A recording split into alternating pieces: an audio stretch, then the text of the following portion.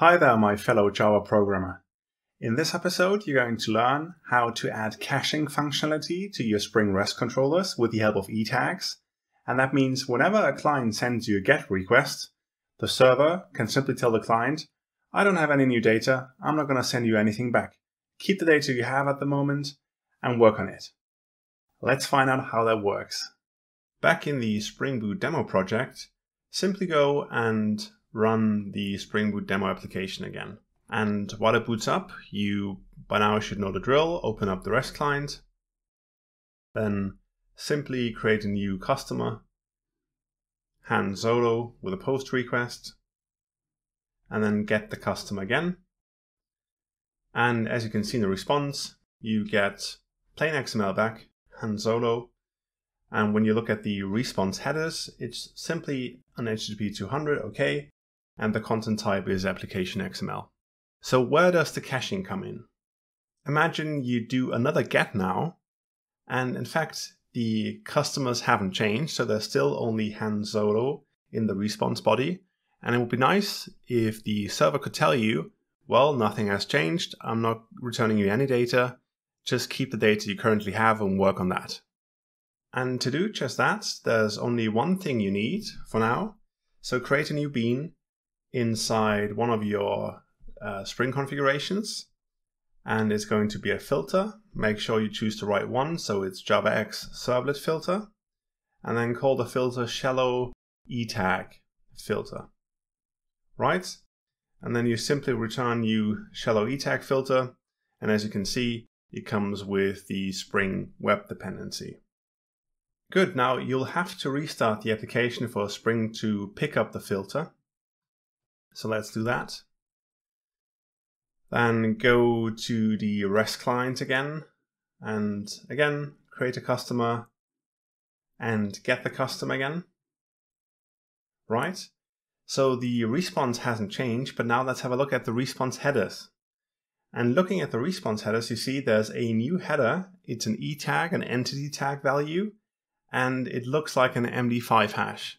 And in fact, what the shallow etag header filter does is it has a look at the response, so at your XML that you can see here, and simply runs an MD5 digest over that response and puts it into the response headers. And now, in turn, the client can take that etag, so just copy to your clipboard, go to the request tab, and now add another request header, and it's the if none match header and put in the etag with the quotes in here. And what that basically means is, please server return me any new data or any new customer you have, except if the current customer list you have results in that MD5 hash. Let's try it out. Let's see what happens when you run the request now. And this time you get an empty response body and an HTTP 304 status code, which means not modified. So the server had a look at the etag value that the client sent in. Then it just got the customer list, computed the same etag value, and said, well, I don't have any new data, so I'm not going to send you anything back. Now, you might have noticed that this in fact saves some bandwidth because here you're just returning a 304, maybe some response time. But what doesn't happen is that it saves compute cycles on the server side because the server still has to, in the case of get customer, call the customer service. The customer service in turn queries the database with a SQL query. So there's a whole lot of computation going on. And imagine you'd have some more complex computation. So you'd have to get customer data from different data sources. Then the server would still pull in all the data to be able to compute the etag for you. So as an exercise for you, I want you to have, if you want to, you can have a look at the source code of the shallow etag header filter but I want you to create your own filter, which doesn't have to work for every controller method. But I want you to think about how you could do the customer controller get customer caching more efficiently. And that could mean maybe you have a local map here with the custom ID. I'll just write custom ID here and the etag so you don't have to hit the database anymore, but just check with that map or with your local cache.